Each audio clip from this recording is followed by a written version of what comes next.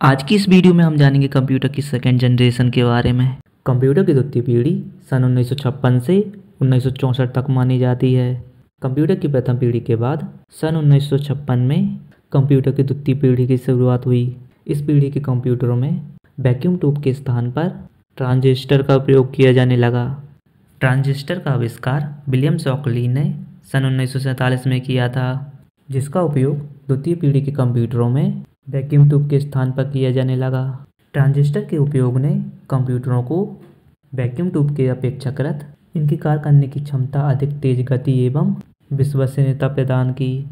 Transistor के आने के बाद कंप्यूटर के आकार में भी सुधार आया। द्वितीय पीढ़ी के कंप्यूटर, प्रथम पीढ़ी के कंप्यूटर से आकार में छोटे हो गए।